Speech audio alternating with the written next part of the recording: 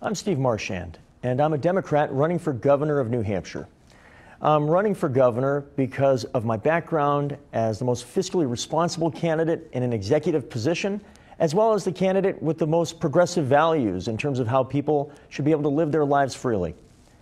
I'm a Manchester native, the son of French Canadian immigrants. Uh, went to college, got my Master of Public Administration, and eventually audited cities for a living. Later on, I had the good fortune to be mayor of Portsmouth, New Hampshire, where I still live with my wife and children, and was a director of corporate relations for the University of New Hampshire.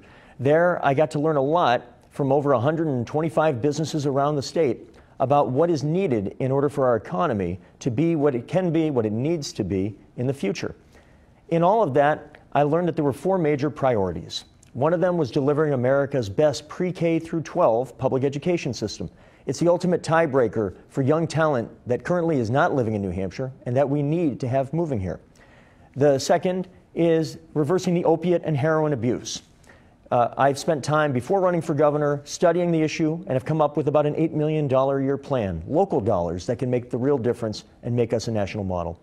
The third is infrastructure. It's the least sexy thing that matters the most in New Hampshire.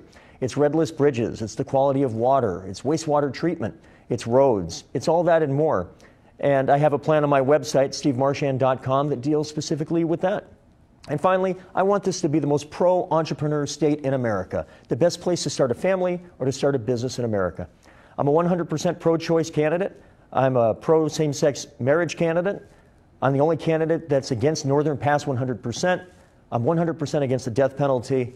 And I believe in freedom in your life, fiscal responsibility, and a socially progressive candidate. I'm Steve Marchand, and I'm asking for your vote.